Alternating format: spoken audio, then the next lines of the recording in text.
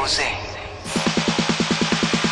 अर्जुन रामपाल ने फाइनली अपनी चुप्पी तोड़ दी। According to an English daily all is well between Arjun and Shahrukh कुछ दिनों पहले तक खबरें आ रही थी अर्जुन एंड शाहरुख के अलेजेड फॉल आउट की इनफैक्ट खबरें तो ये भी कह रही थी that both have been ignoring each other and partying separately in the same city abroad but recently Arjun ने एक इंटरव्यू में ये कहकर इन रूमर्स को क्लियर कर दिया। That I recently read somewhere that we were all having separate new year parties in Dubai that was absurd because we were all together. I don't know where that came from. We are adults and it is important that you take it in your stride and move on. Well, does that mean that there was rather a tiff between the two which has been resolved? Well, you never know. But good to know that things are sorted, Arjun.